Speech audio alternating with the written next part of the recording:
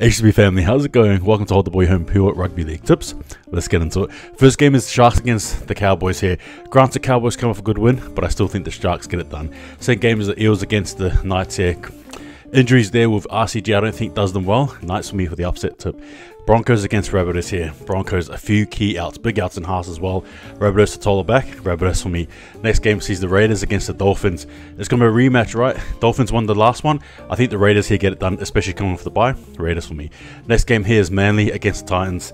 Look, I can't go past, uh, can't cope, can't go past Manly at the moment here. Manly for me. Yeah, too good. Next game is going to be Panthers against Tigers. Panthers. Next.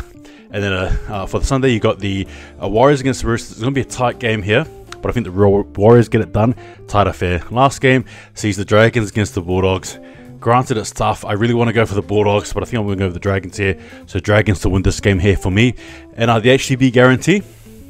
Ready? All right, here we go. The HTB guarantee is that Manly beat Titans. That's it. Anyway, take it easy.